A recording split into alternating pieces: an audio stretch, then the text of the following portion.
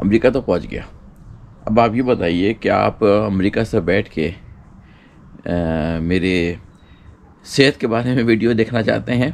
उस मौजू के मज़ीद मैं आपको बहुत सारी मालूम दे सकता हूँ अभी। आप उसके बारे में जानना चाहते हैं कि आपकी सेहत कैसी अच्छी रहे। यही है कि आप ये चाहते हैं कि मैं अमेरिका में आपको कैलिफ़ोर्निया दिखाऊँ। ये सवाल है क्योंकि इंपॉर्टेंट है। एक तीसरा टॉपिक जो मेरे लिए काफ़ी रुका हुआ है मैंने काफ़ी अरसे से, वो है फाइनेंस के ऊपर पर्सनल फाइनेंस के ऊपर कि अपने, आप अपने पैसे को किस तरह से बढ़ाएँ। तो ये तीन टॉपिक्स हैं जो कि मैं सोच रहा हूँ कि इनमें से तीनों को मिला के बारी बारी एक दिन एक टॉपिक के ऊपर, दूसरे दिन दूसरे टॉपिक के ऊपर, तीसरे दिन तीसरे टॉपिक के ऊपर, इस तरह से वीडियो बनाऊँ या ये कि आप अभी इंटरेस्टेड हैं, फ़िलहाल शुरू में कि मैं आपको कुछ थोड़ा सा कैलिफ़ोर्निया दिखाऊँ। और उसके बाद जो है मेरा ट्रिप आ रहा है नॉर्दर्न आइलैंड का।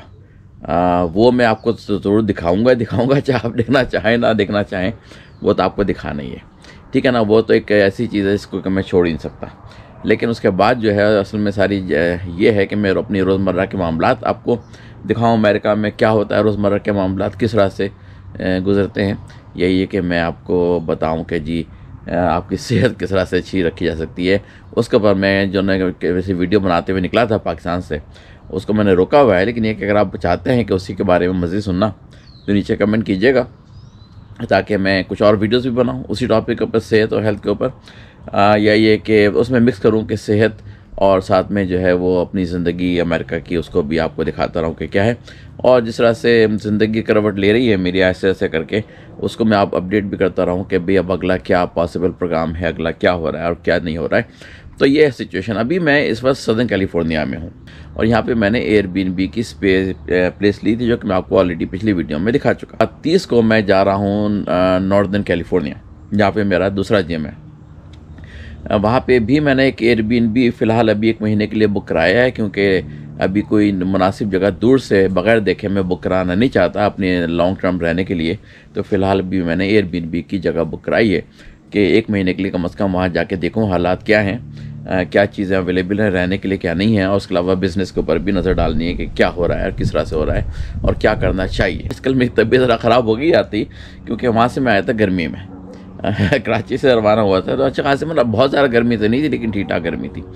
यहाँ पे आके एकदम से बहुत ही ज़्यादा अच्छी खासी सर्दी चल रही है। मतलब कराची के लिहाज से तकरीबन नौ दस डिग्री टेम्परेचर चल रहा है। दिन में हाई टेम्परेचर में भी। जैसे शाम के छः बजे हैं और सर मुझे ये मैं पहने में हुडी वगैरह, लेकिन फिर भी मुझे सर्दी लग रही है। ये नॉर्मली ऐसा टेम्परेचर लॉस एंजल्स में होता नहीं है। ये इस साल कुछ अजीब ही वाक़ हुआ है कि बारिशें भी खासी हुई हैं, अभी भी बादल छाए हुए हैं, आसमान के ऊपर पीछे नज़र आ रहे हैं आपको। और अभी भी बारिशें चल रही मुसलसल बूंदाबांदी चलती रहती है और टेम्परेचर काफ़ी ड्रॉप चल रहा है। तो ये बस एक तमीज़ बांधी थी मैंने इसे पूछने के लिए कि आप क्या चाहते हैं, मुझे बताइएगा इस वीडियो देखने के बाद कि आपकी अपनी ख्वाहिश क्या है। कि यू आई मीन आप अभी और मजीद लर्न करना चाहते हैं, सेहत की बहुत अच्छी मालूम है, मेरे पास बहुत सारी भी बेशुमार मालूम हैं। या तो उसको मैं अभी डेफर कर दूँ कुछ अर्से के लिए मतलब पोस्टपोन कर दूँ कि पहले मैं अपना कुछ कैलिफ़ोर्निया के हालात की ज़िंदगी के दिखा दूँ कि क्या हो रहा है, क्या नहीं हो रहा है। और अपना टूर जो है नॉर्दर्न आइलैंड का वो फ़िल्म आके आपको दिखाऊँ कि कैसी खूबसूरत जगह है, उम्मीद है बहुत खूबसूरत होगी। और फिर वापस आने के बाद फिर मैं यहाँ से जब जाऊँगा नॉर्दर्न कैलिफ़ोर्निया तो उसके हालात और फिर वहाँ पे जो ज़िंदगी के बूद बाश के मामला हैं, वो आपको थोड़ा सा दिखाऊँ। और बीच में मैं स्टोर्स वगैरह लेके जाऊँगा आपको, यहाँ के स्टोर्स दिखाऊँगा कि यहाँ के स्टोर्स होते कैसे हैं। आज मैं छोटे से स्टोर में गया था, यहाँ पे छोटा तो नहीं जहाँ बड़ा है टारगेट के नाम से। वहाँ से मैं तरबूज लेके आया हूँ और केले और इसके अलावा यहाँ का तरबूज। चलिए आपको मैं तीनों चीज़ें दिखाता हूँ कि वो यहाँ की कैसी हैं। ठीक है ना? एक तरह से तमीज़ तो शुरू हो कि हर तरह के जगह के फ्रूट अलग होते हैं। तो मैं आपको चलिए अमेरिका के फ्रूट दिखाता हूँ कि वो कैसे हैं। चलिए सबसे पहले तो आपको मैं यहाँ केले दिखाऊँ अमेरिका के, कि ये अमेरिका के केले हैं। और ये तकरीबन अमेरिका में पच्चीस सेंट का एक केला मिला है। तो एक तरह से आप समझ लें, तकरीबन पचहत्तर रुपये का एक केला यहाँ पे इस तरह का मिल रहा है। अच्छी क्वालिटी के होते हैं और अच्छे मज़े के भी होते हैं। तो ये पचहत्तर रुपए का एक केला है यहाँ पे अमेरिका में। ठीक है, एक तो ये बात होगी। जब आपको घर के अंदर ले आया हूँ तो मैं आपको दिखाऊँ कि ये मेरा वो है इलेक्ट्रिक कुकर है। इसके अंदर मैंने ऑलरेडी आज पहली दफ़ा आने के बाद से आज फ्राइडे है। मैं फ्राइडे के ही दिन पहुँचा था। पहले एक हफ़्ता गुजर गया, मैंने कुक कुकिंग नहीं की थी। अल्लम गल्लम खा रहा था। आज मैंने इसके अंदर बनाए हैं बीन्स आपको अभी दिखाता हूँ, थोड़ी देर में अंदर से खोल के भी कि इसके अंदर के हालात क्या हैं।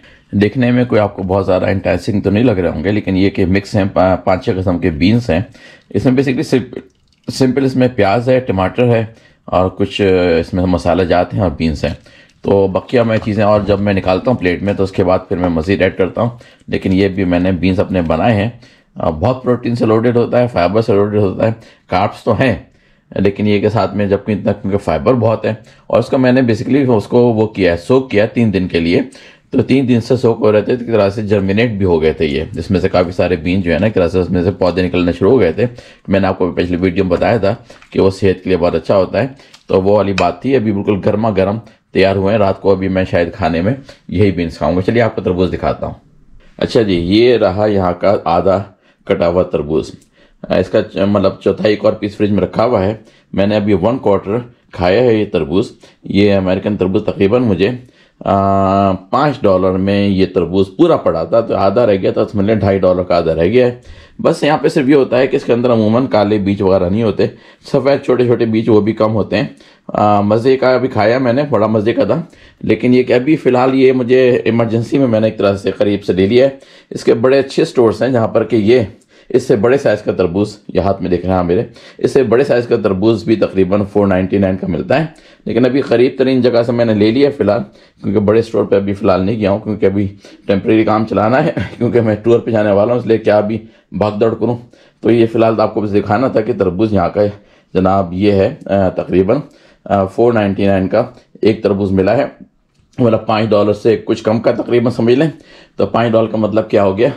कि तकरीबन पंद्रह सौ रुपये का ये तरबूज हमें अमेरिका में मिला है जनाब। तो आप अंदाज़ा कर सकते हैं कीमत होगा कि पंद्रह सौ में ये तरबूज है जी।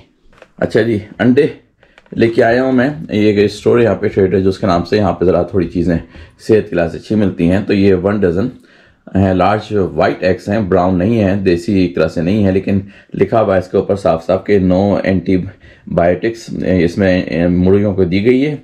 और वेजिटेरियन फ़ीड है, इसका मतलब है कि अच्छी बात तो नहीं है वेजिटेरियन फ़ीड कैसी को खूबी, लेकिन ये कि अच्छा होता है क्या ये इनको दाने चुगने देते, जो ज़मीन में कीड़े मकोड़े होते हैं, खाने देते, लेकिन उन्होंने वेजिटेरियन फ़ीड लिख के, जैसे कोई खूबी की बात लिख दिया हालाँकि खूबी की बात ये कहीं से भी नहीं है। चलिए अंदर से खोल के दिखाता हूँ, अंडे हैं क्या, कैसे? भाई वही पाकिस्तानी जैसे ही अंडे हैं ऐसी क्या खास बात, थोड़े से ज़्यादा बड़े हैं, लेकिन वहाँ पर भी बड़े मिल जाते हैं। तो बस ऐसी खास बात नहीं थी, लेकिन उन्होंने इस तरह से लिखा, जैसे कि कोई ख़ास बात है। कि जी, ये जो है वो वेजिटेरियन फ़ीड है। और क्या खिलाएँगे वेजिटेरियन फ़ीड के अलावा? और क्या चीज़ खिलाएँगे? इसके अलावा लिखा हुआ उन्होंने कि एक एक बड़ा इन्फॉर्मेशन हर तरफ़ दे देते हैं उठा के कि एक अंडे में जो है वो सत्तर कैलोरीज हैं। और साथ में उन्होंने लिखा है कि इतनी फ़ैट है और इतनी नहीं है, वगैरह वगैरह वगैरह। ये सब बातें बहुत ज़रूरी होती हैं यहाँ पर लिखना, क्योंकि लोगों को जानना बहुत है कि भाई है क्या सिलसिला ये। अभी मैं यहाँ से एलमेंट बटर अपने सुबह के नाश्ते के लिए भी लेके आया हूँ। इस पर लिखा हुआ है कि वो सॉल्ट ऐड नहीं है इसके अंदर। और इंग्रेडिएंट्स में अगर आप देखें से आके तो सिर्फ़ और सिर्फ़ लिखा हुआ है कि एलिमेंट्स हैं बस। तो इसका मतलब है और कोई चीज़ उन्होंने ऐड नहीं की है ज़बरदस्ती के तेल वेल इधर उधर के। तो अच्छी बात है, इस वजह से मैं लेके भी आया हूँ उसको कि इसके अंदर और कोई हरकतें उन्होंने नहीं की हैं। सॉल्ट भी ऐड नहीं किया है सिंपल एलिमेंट्स को एक तरह से बना के और क्रीमी मुझे क्रंची पसंद नहीं है तो क्रीमी है। तो ये मैं लेके आया हूँ। महँगे हैं, यहाँ पे थोड़े से चार डॉलर का तकरीबन ये एक जार मिला है। लेकिन ये डॉलर में तो भाई चीज़ें महँगी ही हैं यहाँ पे। तो बस इस तरह से सिर्फ़ दिखाना ये था कि यहाँ पे पाकिस्तान में तलाश कर कर के मर गया मैं, कि कहीं पे एलिमेंट का बटर मिल जाए, लेकिन नहीं मिला। पीनट्स वगैरह का मिल रहा था, उसमें भी दस सारी चीज़ें उन्होंने ऐड की हुई थी। यहाँ पे सिर्फ़ लिखा हुआ है कि सिर्फ़ इंग्रेडिएंट्स में क्या? एक तरह से एलिमेंट्स नथिंग एल्स ये है खूबी के बाद। पाकिस्तान में मैंने बहुत तलाश की कराची में कि मुझे ये सावर डो ब्रेड मिल जाए, लेकिन पाकिस्तान में नसीब नहीं हुई। तो कहीं कहीं बाय उसके ज़रिए आप कोरियर के ज़रिए कहीं से मंगवा सकते थे, लेकिन इतनी इजीली हर तरफ़ अवेलेबल नहीं है। अमेरिका में तो हर स्टोर में ये सावर डो ब्रेड मौजूद है। लो ग्लाइसेमिक इंडेक्स है। और एक तरह से फर्मेंटेड होके बनती है तो ज़रा पेट पे आसान होती है और इसकी फिर आपको शुगर भी ज़रा कम मिलती है जिसम के अंदर। तो ये ब्रेड तो खैर पसंद नहीं मतलब खानी नहीं चाहिए, लेकिन ये कि अगर आपको खानी है तो अगर आपको सावर डो मिल जाए कहीं से तो वो सबसे अच्छी बना और भी दूसरी भी है, लेकिन मैं आपको ब्रेड के ऊपर कभी आपको एक अलग से पूरी वीडियो बनाऊँगा मैं, अगर आपको शौक है जानने का तो फिर इंशाल्लाह अलग से वीडियो बनेगी।